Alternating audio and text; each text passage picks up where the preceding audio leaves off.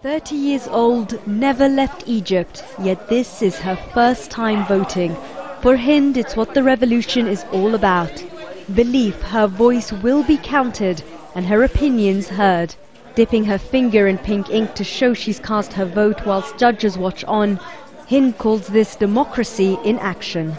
I never considered voting before, but I knew this time I could make a difference. So I thought I'm an Egyptian. I have to have a voice. It's my right. The vote is simple. Yes, if you want to see the amendments to the 1971 Constitution passed, paving the way for parliamentary and presidential elections within months. No, if you want to see a new constitution drawn up, pushing back those elections. In an effort to encourage people to vote, there are over 50,000 polling stations across the country. And unlike other years, you don't need a separate voter registration card. Egyptians can vote using their national ID cards at any one of these polling stations that's easiest for them to get to.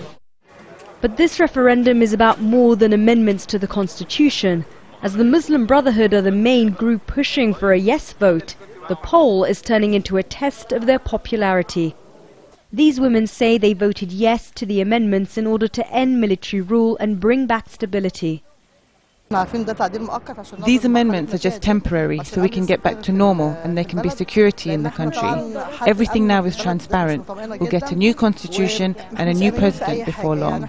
But for others, the amendments, which include limiting the president to two terms and making emergency laws subject to a parliamentary veto, aren't enough. The amendments are good, but I think we need a totally new constitution rather than changing the old one. We don't want a constitutional patchwork.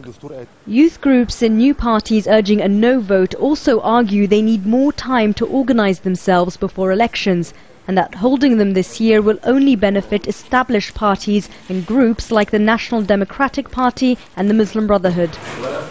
But whether it's a yes or no, the debate over the constitution has galvanized the Egyptian public for the first time in decades making people believe they have a right to influence the future of their country. Sherine Tadros, Al Jazeera, Cairo.